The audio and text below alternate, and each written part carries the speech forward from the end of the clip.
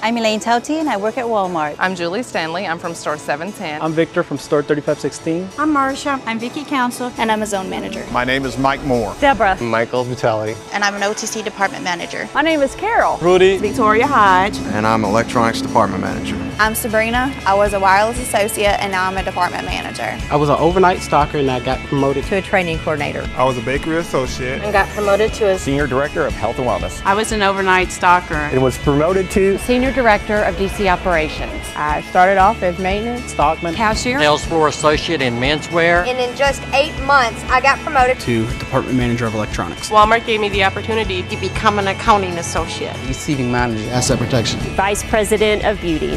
Walmart gave me the opportunity to be a shift manager, a merchandise supervisor, zone manager, vision center manager. Walmart has given me the opportunity to be a department manager of grocery, customer service supervisor, assistant manager, senior director of human resources, zone merchandise supervisor. I was a cashier, assistant manager, temporary associate, part-time cashier. Worked my way up to store manager, store manager, store 1244. Walmart gave me the opportunity to be a store manager. Walmart has given me the opportunity to be a leader. This could be you. You can do what you want to do. Go do it. No matter what you want to do, you can do it. What do you want to do?